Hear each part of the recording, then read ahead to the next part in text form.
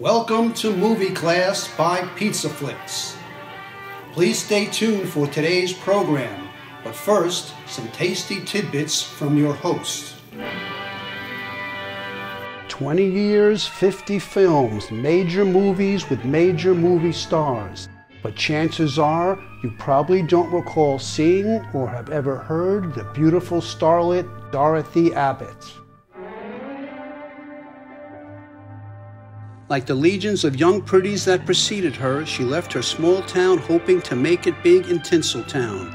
After two years of being cast as showgirls, models, nurses, or the girl at a party, she finally caught a break. A speaking line in 1948's Night has a thousand eyes. When a person's faded, others go with him. Too bad it didn't do much for a fledgling career. Sure, she appeared in the popular movies of the day as a contract player with Paramount, MGM, or Fox, but Dorothy continued to just beautify her scenes silently. In 1949, she fell hard for a tough cop. While other Hollywood hopefuls were chasing agents and producers in the Cocoanut Grove or the Brown Derby, Dorothy married Rudy Diaz, an LAPD narcotic squad detective. TV's top cop show Dragnet picked a couple of Rudy's cases to dramatize. With hubby signed on as technical advisor, it didn't take long for Dorothy to be noticed by Jack Webb, aka Sergeant Joe Friday. In her first episode, she appeared as Ann Baker, a model. Soon her role was expanded as Friday's girlfriend. But after just five more episodes, Ann Baker was gone. Early in her career, Dorothy put in two months as a Vegas showgirl at the Flamingo, where she quickly earned the title The Girl with the Golden Arm. Turns out her true calling was gambling, which probably doomed her dancing days in Sin City. Dorothy may have been lucky at the gambling tables, but not in love. Although they had a daughter together, the couple was living separately by the 1960s. Scandal sheets reported spotting Rudy out on the town with actress Ann Sothern. In 1968, a year after Rudy retired from the LAPD, the couple divorced. And then, tragically, that December, the day before her 48th birthday, Dorothy Abbott took her own life.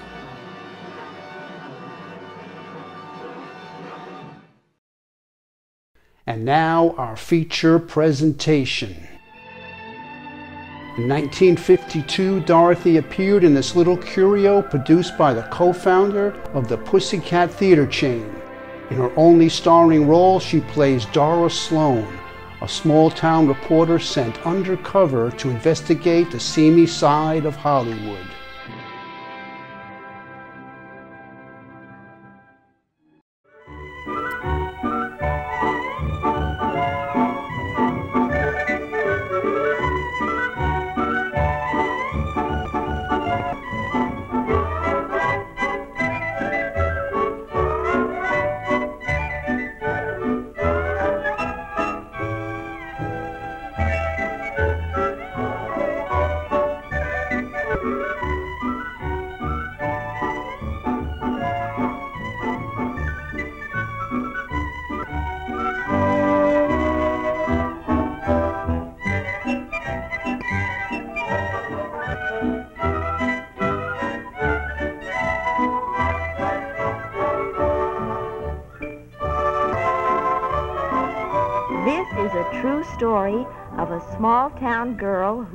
To the big sea. Let's her speeding along toward her dates with fate, wide-eyed with excitement. Ah, yes, I remember well this girl, then so naive and innocent, because this girl was me.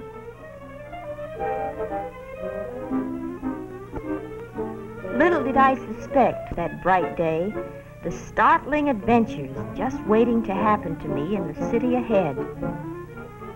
If I had known then all that would happen to me, I might have turned the car about and raced away from this place twice as fast as I was speeding toward it.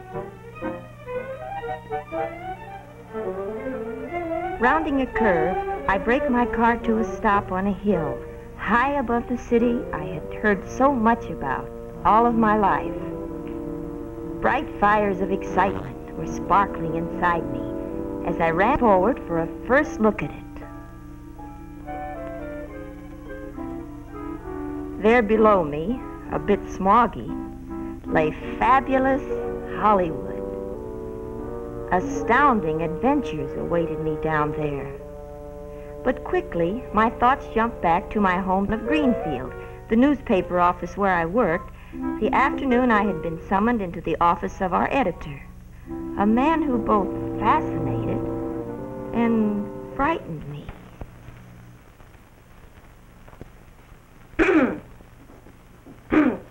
Mr. Mr. Hanson, Yes? you sent for me? Oh, uh, yes, I, I did, Miss Sloan. I uh, wanted to have a little uh, talk with you. Very uh, confidential. You see, for uh, some time now, I've been thinking about you. Why, what would you be thinking about me?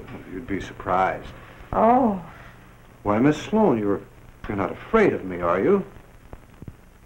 I guess I do have a kind of a reputation that frightens most girls in this town, but tell me, Miss Sloan, do you think I'm a big bad wolf? Miss Sloan, as I was saying, I, I've uh, been thinking about you, and uh, do you know what people in Hollywood do? I I mean, do you know what actually goes on out there? well, No, I... you, you don't know, Miss Sloan, because everything you read or hear about the movie city contradicts everything else you read or hear about it. Uh, like this, for instance, today's paper. It's here on page one. There. Hollywood investigator claims belly dancers perform nearly naked in swank strip spot. Or this juicy item. Screen star spits in critic's eye, scores bullseye. Now these are the news headlines, but listen to what Film Fan Reporter writes in her column. There.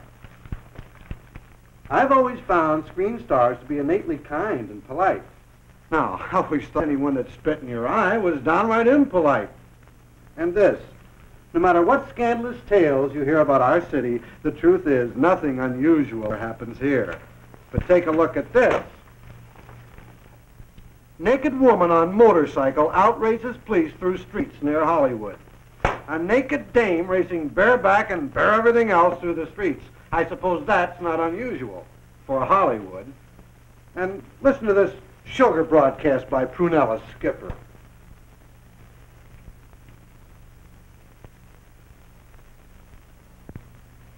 The movie actress Donna Sterling is just the sweetest girl I know. All her troubles have been due to her being just too generous to people, especially men. She just can't say no to anyone. Especially men. The poor misunderstood child is rushing to the arms of her only true love in Las Vegas, just as soon as she gets a divorce from her fifth husband in Reno. See what I mean? Here's a city that everybody wants to read about, hear about. But everything you hear about it is contradictory. What kind of place actually is Hollywood? That's what everybody in Greenfield and everywhere else would really like to know. So give them the answer, the real lowdown with no punches pulled, and I'll bet we double the Star Times circulation. And whatever that is, good or bad, we're going to print it. Should be sensational. Yes. Go to Hollywood and find out. Actually, do yourself everything they do out there. You know what I mean? Me? Why not? You have all the uh, equipment necessary for the job. But I wouldn't know how. I'm confident there'll be plenty of applicants to teach you how. But I haven't had any experience. I'll bet you won't say that when you come back. Well, Mr. Hanson's words had made me curious. I turned and raced back to the car, anxious to get down to the city below and discover just what might happen there. Hmm, if I'd have only known.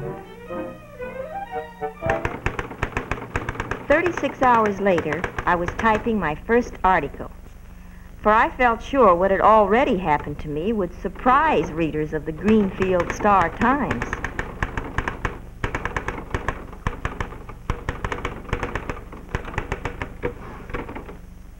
I headed it my first day in the land of make believe. Like most people who come to Hollywood, my first thought upon arrival was where could I see the movie stars? The simplest way might be to get one of the movie maps advertised along Sunset Boulevard.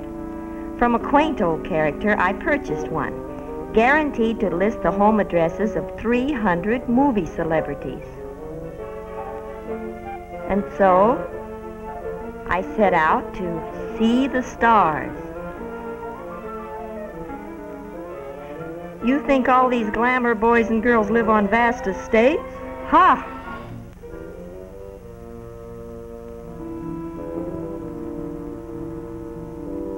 According to my map, most of their homes were on out-of-the-way streets. And nobody I asked had the slightest idea just where. The houses listed were hardly the type I had anticipated. And anyway, even people in Greenfield weren't going to get too excited by hearing I'd seen the spot where Joe Starr hung his hat. But I decided then and there, whatever I had to do to thrill my readers, I would do.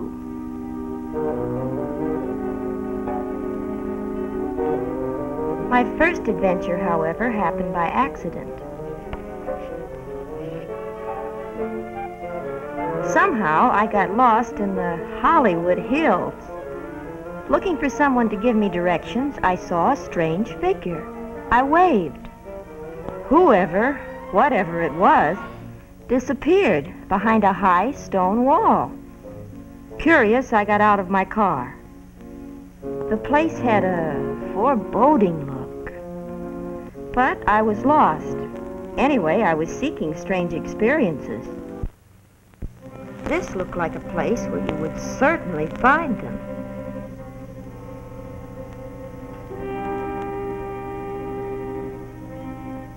My woman's curiosity urged me to go on.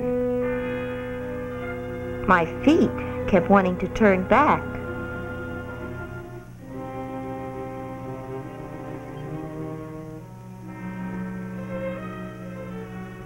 Somehow the place was weird. A perfect setting for ghouls and ghosts and horrible happenings.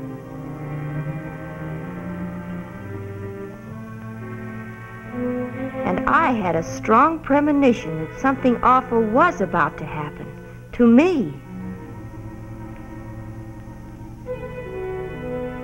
Wherever I looked, I could find no one, but I could feel hidden eyes fastened on my every movement.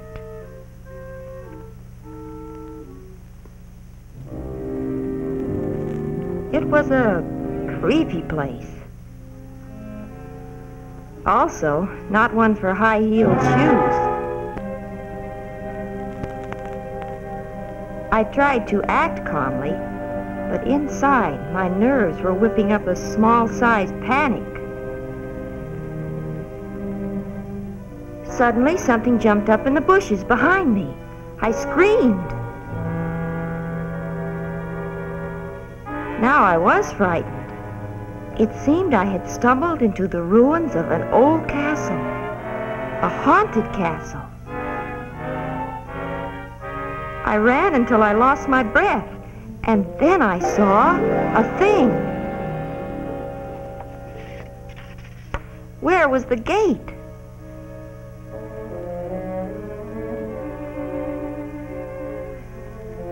I was running around wildly trying to find it when I stumbled and fell flat. I lay there, afraid to look up because I heard the sound of feet closing in on me. When I did look up, a fence of legs encircled me.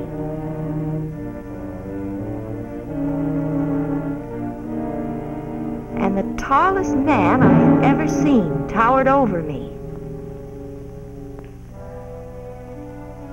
The man motioned for me to get up.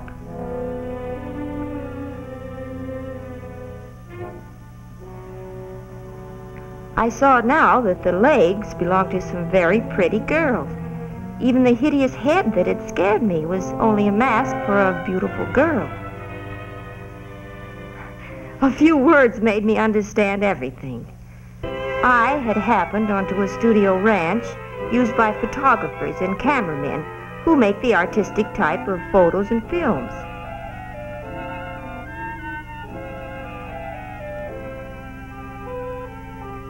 These girls were a group of models who posed for them. They had hidden at my approach because onlookers were usually a nuisance.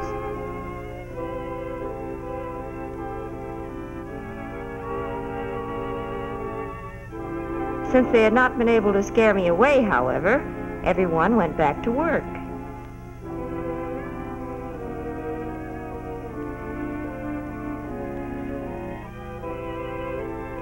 There were several groups of professional photographers around. But, as one of the models pointed out, some of the photographers used the picture-making gag just as an excuse to get acquainted with and ogle girls.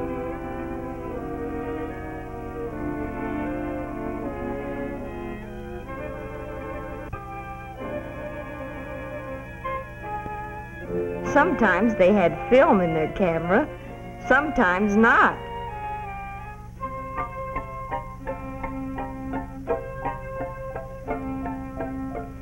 Later, promising to stay out of camera range, I wandered about, looking at different groups at work.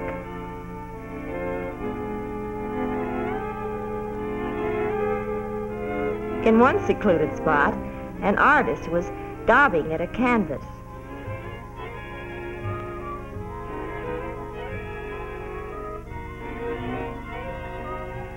After a while, the artist had an idea. And his idea, he should paint less of the model's costume and more of the model.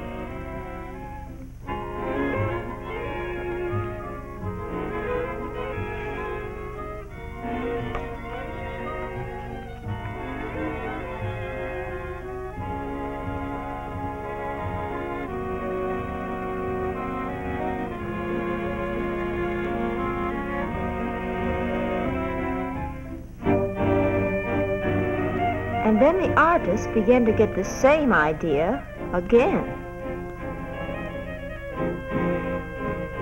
He should paint less of the model's costume and even more of her.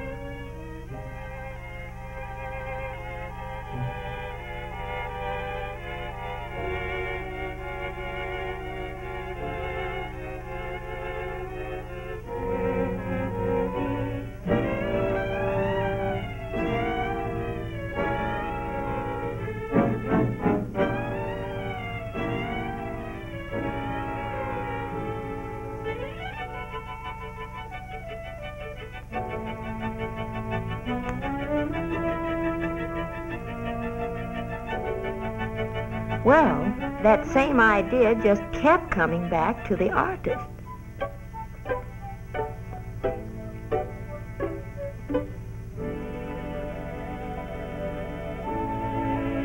But at last the model said, Wait a minute. Just what kind of a painting is this masterpiece of yours? And then she saw what she had been posing for. Well, this artist would either have to improve his art or find a model with less temper.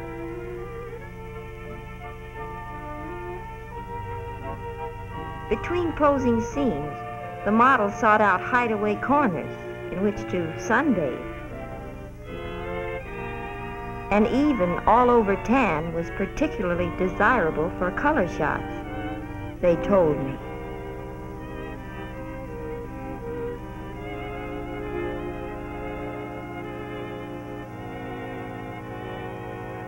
Made notes of what I saw,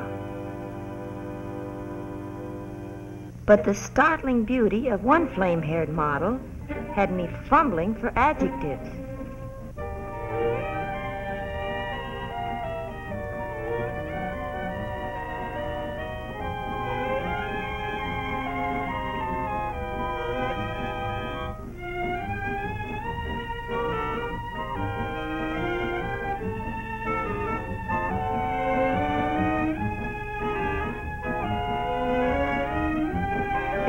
Adorable young peacocks roamed all over the ranch, and this girl threw breadcrumbs to them. But the peacocks refused to come near enough for her to pet them. As one photographer exclaimed, silly birds.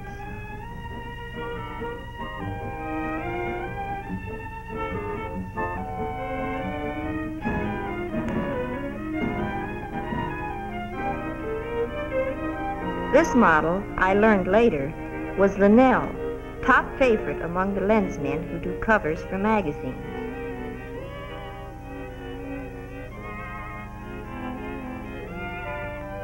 Her fiery golden hair, falling down over her cream white body, resulted in the most sensational color shots.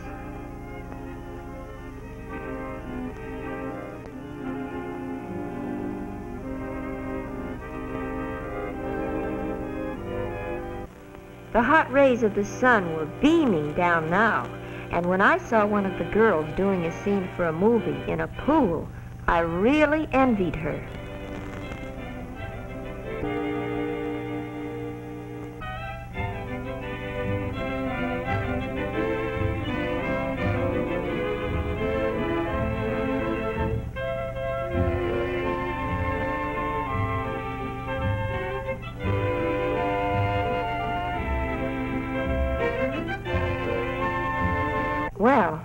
Spent a very interesting afternoon watching the production of artistic photos and films.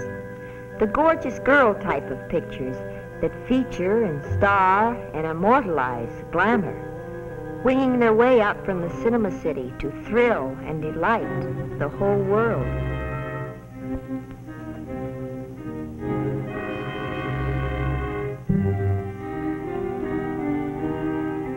As I was leaving, the tall photographer handed me his card. He said he could use me as a model, but I was still a little afraid of him. The third day I was in Hollywood, I received an envelope marked very personal. The letter inside invited me to some very special entertainment, to a show you could see only in Paris or at this French Follies Theater. To ensure admittance, I took the letter and two dollars and found on arrival the show had already started.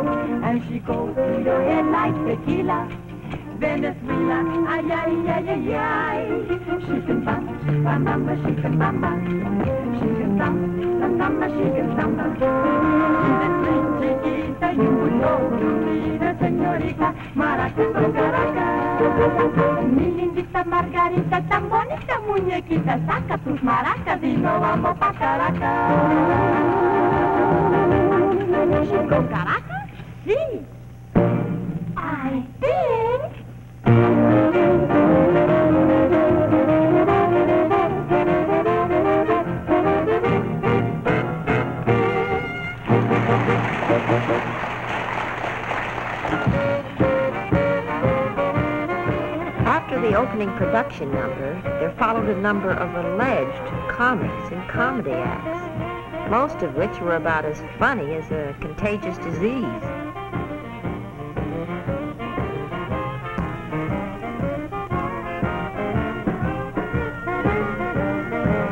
And then several dancers. This was dancing?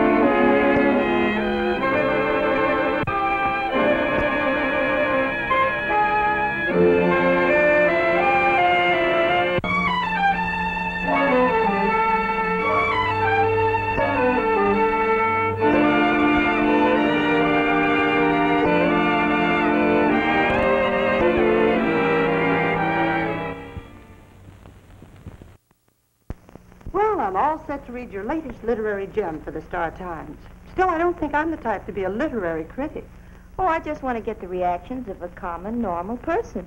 now, dear, you know I may be common, but not normal. Oh, I'm on to you. You do more talking than anything else. Well, confidentially, I'm better at talking than anything else. Did you model for anyone this week? Yes, I worked yesterday for one of those would-be wolves. He called and said he wanted me for a sitting. Turned out to be more of a running. Do you mean he chased you? Well, what did you do? Well, I let him get close enough a couple of times, you know, to make it interesting. He's too feeble to be a menace. So I got my exercise and five bucks an hour. the tales you tell. You should be writing these stories instead of me. Well, your editor might be interested in some of my adventures, but I don't think he'd dare publish them. Well, let's hear how yours sound. My Adventures in Hollywood by Darla Sloan.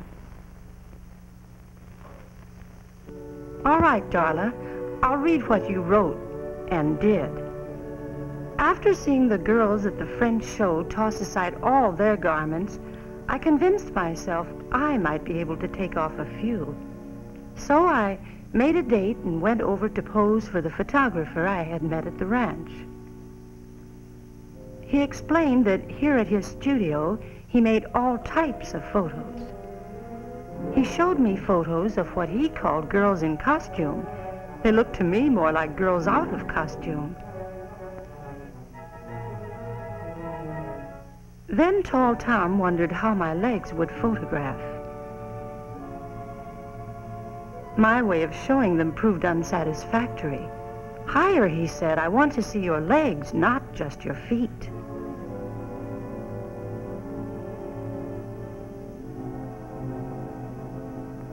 Change into a costume, he sent me behind a small screen. while I was changing, I kept thinking back to the day at the ranch when I had looked up and first seen this tall Tom towering over me. I began to wonder just what he had in mind now. I had heard stories about photographers.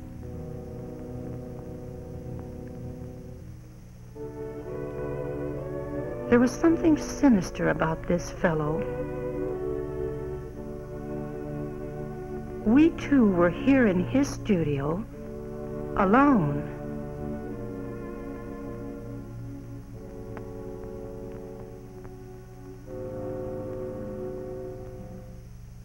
I peeked out again.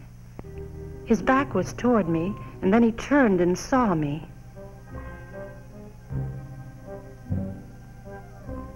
He started coming toward me. He came nearer, nearer near. Oh. And then he said, Here, wear these stockings.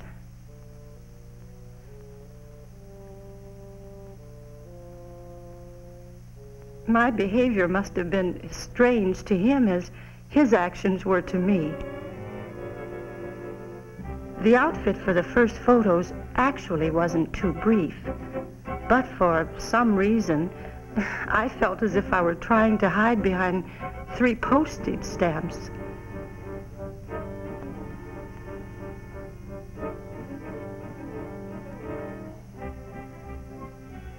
Tall Tom finally pulled out a pair of dark glasses and assured me that wearing them he was practically blind.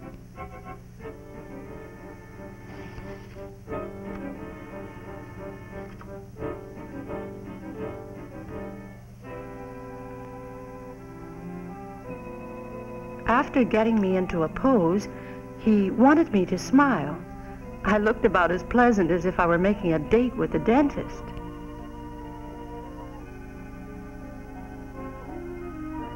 Finally, he promoted a fair expression by having me say, cheese. Maybe this is how they started calling this kind of photography cheesecake.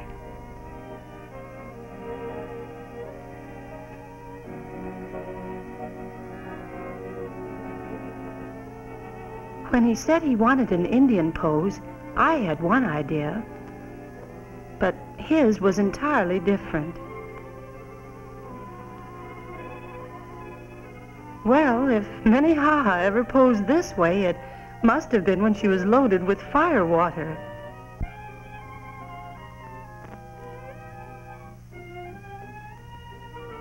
But even after he snapped it, Tall Tom still called this an Indian pose. I had material for another article, and the photographer and two male customers all had asked me for a date. Well, after reading this, I'd say that when you went back to uh, Greenfield, all the women will hate you, but all the men will want to date you.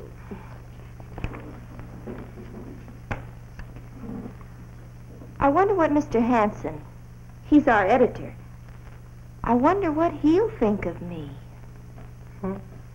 I wonder what you think of Mr. Hanson. He's the type of man that makes you not know what to think. He's handsome, but not too. There's something about the way he says things to you and the way he looks at you that makes you feel so funny. Did you ever feel as if you'd swallowed an electric vibrator? Hmm. Mm, no. But I wouldn't mind to meet this Mr. Hanson. As the slang saying goes, he must be quite a charge. Well, yes. I guess you could say that. Hmm. Hey, who's the lassie with the cute chancy? Use this in a four-column spread over Darla Sloane's article. Here. Yeah. So that's how Darla Sloane looks. No wonder so many interesting things happen for her to write about. Yes, I guess she's getting plenty of experience. I read all her articles. You know, here in Greenfield, you gotta get your excitement secondhand. Believe me, boss, if what she writes actually happens, in Hollywood, she's good. She was good here, too. I wonder what she'll do next. I wonder. Well, Mr. Hanson might have been surprised to know I was thinking of answering a Lonely Heart ad. Not the one who wanted a perfect mate. And I couldn't help the handsome man who needed a wealthy wife. But Mr. Sophisticate, who wanted to show some girl a wonderful evening. He might be just the escort to show me around some unusual night spots.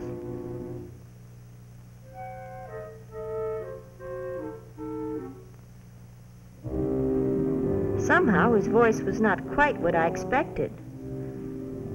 But he was eager. One thing I never learned to do, smoke. For this date, though, I wanted to appear worldly wise.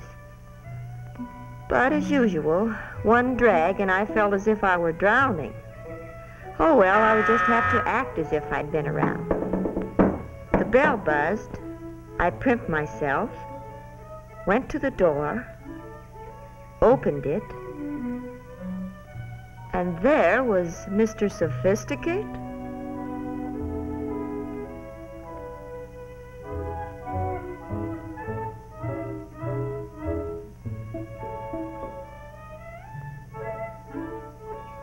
With a snoot full of water, I asked this character if he wanted me to take his hat. So,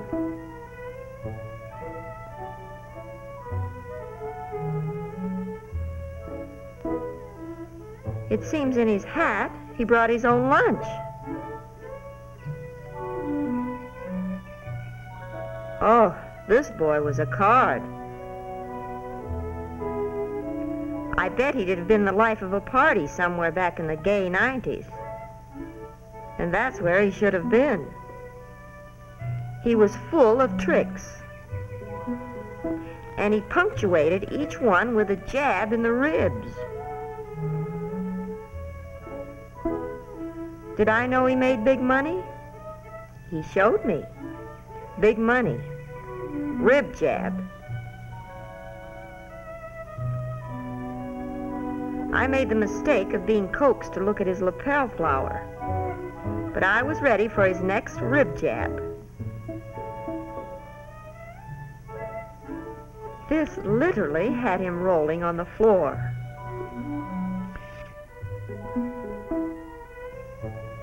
Next, had I ever seen the Three Stooges? You know, one butted the other with his head, the second kicked the first in the pants. Foolishly, I asked what the third did. Mr. Sophisticate showed me.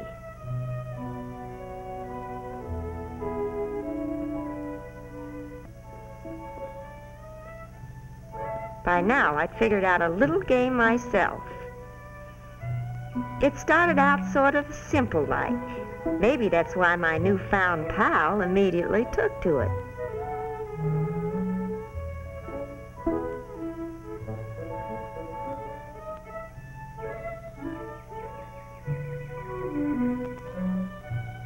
But as my game progressed, it became a little more complicated.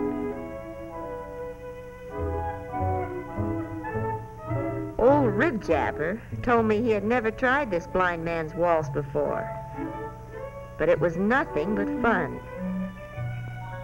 I told him I knew he'd get a kick out of it. And he was Mr. Sophisticate? I crossed Mr. Sophisticate definitely if my list. Another ad caught my eye. Well, wonder how it would be to have a date with a Hollywood actor.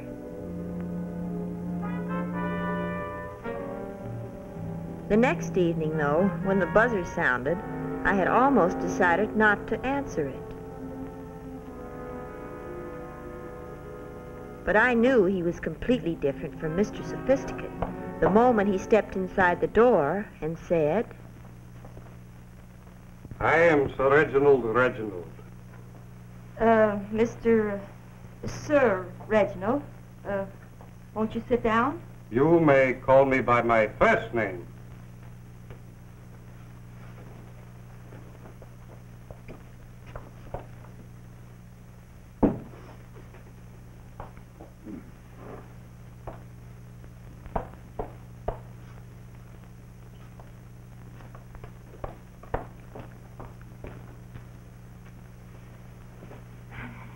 Uh, Mr. Uh, Sir uh, Reginald, uh, your advertisement states that you're in the theatrical profession. Ah, yes. I'm a thespian, an actor, you understand, from the theater, the legitimate theater. Ah, you should have seen me in Shakespeare. To be or not to be, that is the question. Whether 'tis nobler in the mind... But now you're in pictures. Gad, yes. All day I've been performing in some cow drama. Oh, a, a western. Uh, what part did you play? My line was, uh, they went that way. It's five different characters in five different makeups. I said, oh, they went that way. I think uh, they went that way. Uh, I don't rightly know, but uh, I think they went that way. I don't know, but uh, they went that way, I think. the one of me voice is losing its resonance. Uh, you, uh, don't happen to have something to drink, have you? Would you like a drink of water? My dear, I want to drink, not bathe. A previous tenant had generously left behind two bottles of wine in the refrigerator. I proudly brought forth one for Sir Reginald. He looked at the label, muttered something about domestic. Maybe it was because the wine wasn't imported. Anyway, that boy had a way of drinking without tasting. Well, I gulped one too.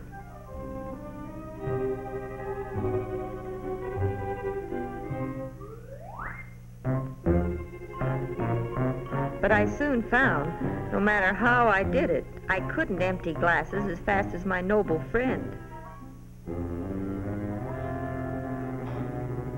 Sir Reginald finished the first bottle in a breeze.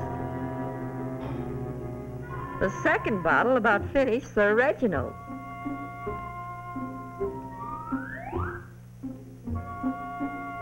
And worst of all, Old Demon Rum began to bring forth in Ye Old Thespian all the different characters he had ever played.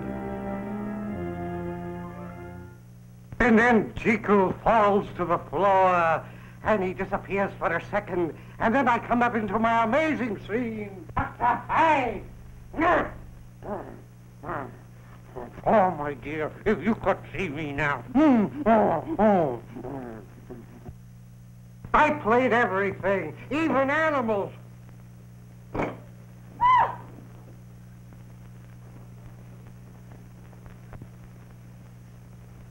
Perhaps you saw me uh, as the Avenger of the Sun's Fury.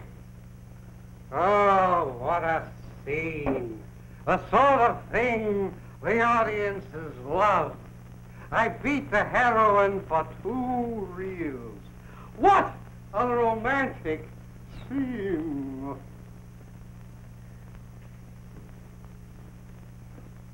I really beat her, you understand, for two full reels. How do those lines go? Yes.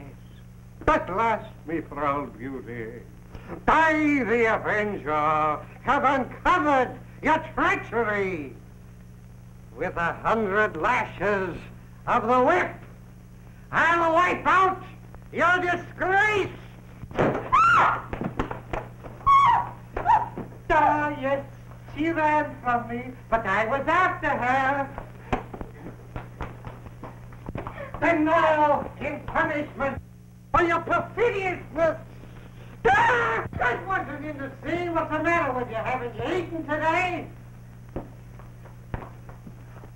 Ah, you foxy wench. This makes me duty more exciting.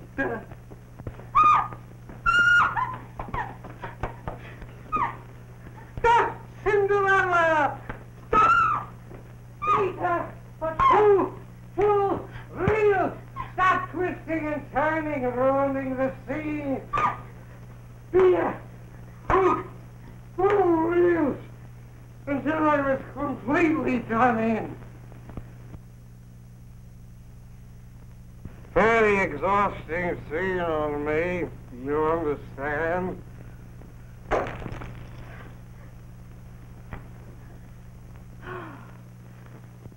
Finally went to a nightclub with a gentleman who advertised himself as safe and sound. Well, anyway, he was safe. His hearing wasn't so good, but when they introduced the exotic dancer, Naomi, you could see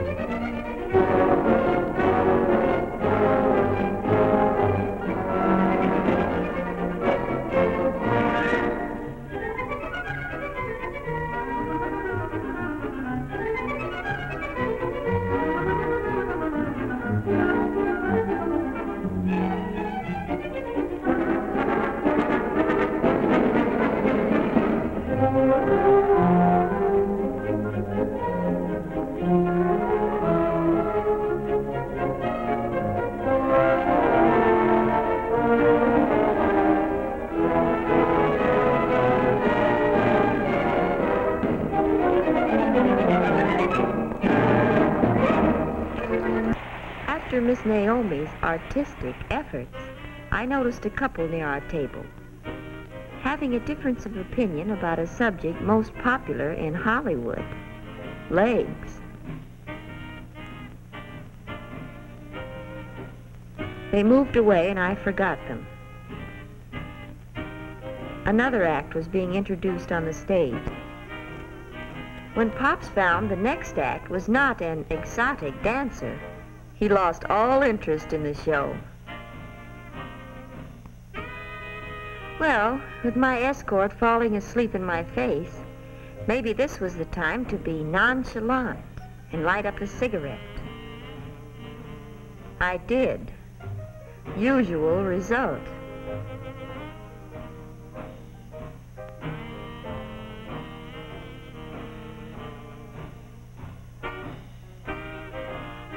But if a lady couldn't act nonchalant, she could at least always go powder her nose.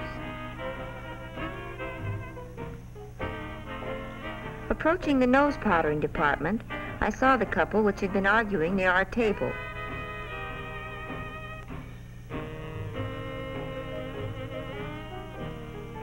One of them asked me for a cigarette. I might as well give them away. I couldn't enjoy them myself.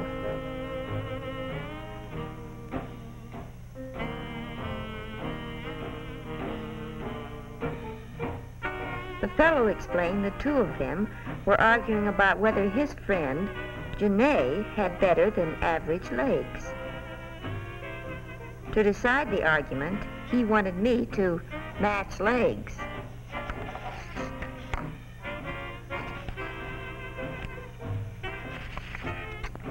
By now, I had gotten used to the gag.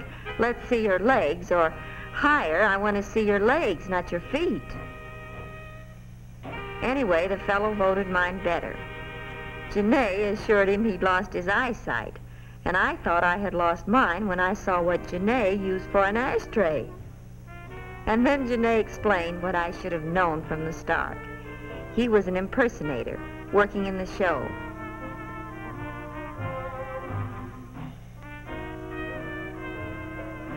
No wonder I choked on my cigarette this time.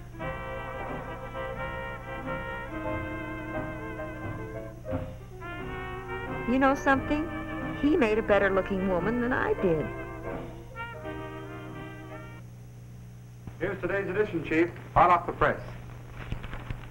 You'll find Miss Sloane's article on the fourth page. Oh, yes, here it is. We're running her picture heading the article now, just like you ordered. She certainly is a delectable looking dish. Out there in the wild and Woolly West, she must be having a wonderful time. Yes, but I'm not so sure that she should be out there all by herself. From what she writes, I don't think she's ever all by herself. I mean, nobody from here went with her. Is out there to watch her, watch over her. I'm beginning to wonder if I should have sent her out there all alone. In fact, why should I have sent her out, period? Pierre Martin was a nervous little man who had a wholesale lingerie house. He brought buyers here to view his showings of new styles. Modeling for him, I thought I might find some rare experiences. I did.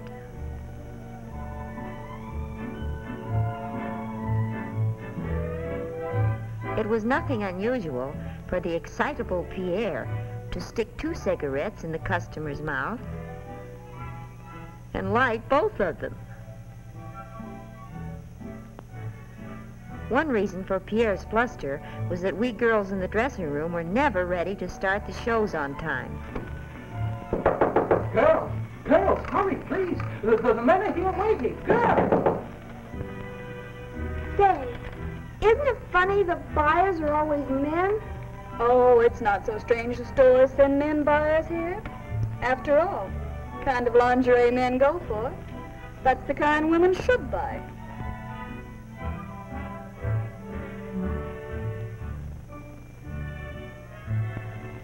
Girls, then let's go with the first number. How long will you be? Five or four minutes. No, no. I wonder what makes him so excitable all the time. Probably working around all this lingerie. Make way. For the body beautiful. You should have been parading around out there five minutes ago. You mean for something so wonderful? They can't wait five minutes? The way she's always claiming what a shape she has. You'd think she had my body. You'd better hurry, Jean. You follow me. I've always found that easy. Dreamer. Well, girl, here I go. No matter how impatient the buyers had become, the sight of Francine displaying Pierre's creations always had a soothing effect on them.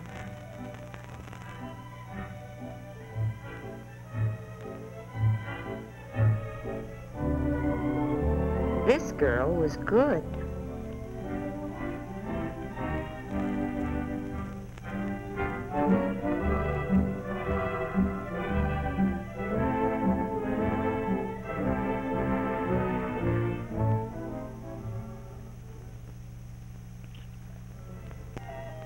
A short length nightie was my first contribution to the showing.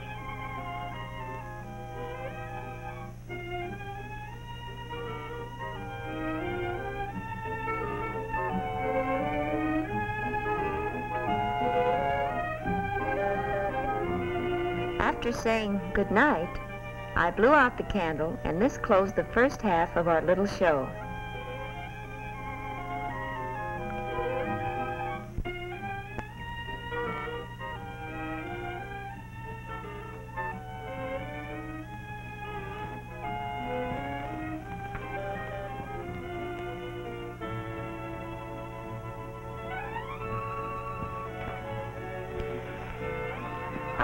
Most of the buyers come in to buy or, or just to look. Why, dearie, don't tell me you're the type that minds men looking at you. Why, the two days that you've been here, you must have had a dozen men ask for your phone number. Or maybe the shrinking violet routine is what gets them. Yes, I'll have to try it. I'll have to convince men that I'm so very, very nice. I've got news for you. You're not that good an actress.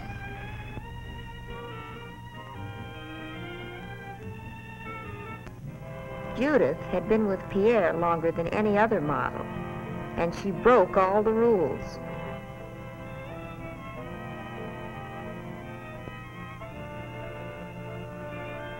I saw her giving her telephone number to one of the buyers.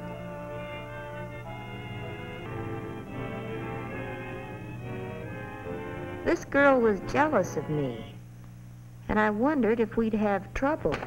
And I didn't have to wait long to find out. Pardon me. Say, I always wear that outfit. Well, Pierre has my name on it, so evidently you're not wearing it today. Today, too.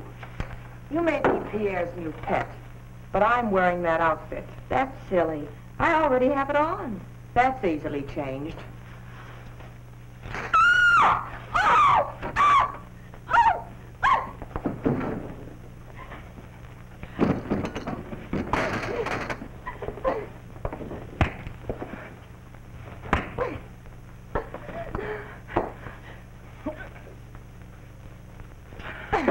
What's happening in there? Stop it, you hear? Ah, I'm coming in. Break it up! Don't, girl. Be in in a minute. Don't, now. Please, Dad'll be barging in. Please, put this in. Here, here. What's going on here? Your pet model, I'm going to remodel. Are you crazy? Who started this? She started the whole thing. I didn't start it, but I'm going to finish it. Give me room. Oh, what? Be careful now, girls. Girls. Oh, oh, stop it. Stop it. Oh, oh my goodness. Stop it. Now, here, oh. start it again, please. Now, here. No, no. Oh. Stop. Stop. Oh, stop it. Stop it this minute. Here, what's going on here? Stop. What?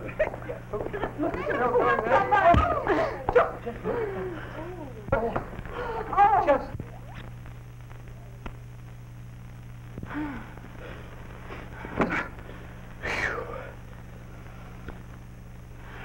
Why, Mr. Hanson, what are you doing here? Well, I was worried about you, and I, I came to Hollywood, and I went to your apartment, and they said you were working here. Well, I'm, I'm not exactly dressed to, to give you a formal reception. Still afraid of the big bad wolf, huh? Listen, after what I've seen and done out here, you just think you're a wolf. Watch me. You. Oh. Wow, you certainly have learned a few things in Hollywood. And that's only the beginning of what I've learned out here.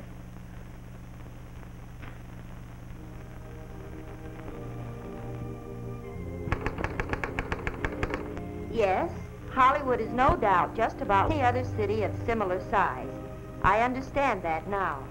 But here in Hollywood, the film capital, everything seems more glamorous, more exciting, more wonderful. And if you don't believe me, come on out and let me show you.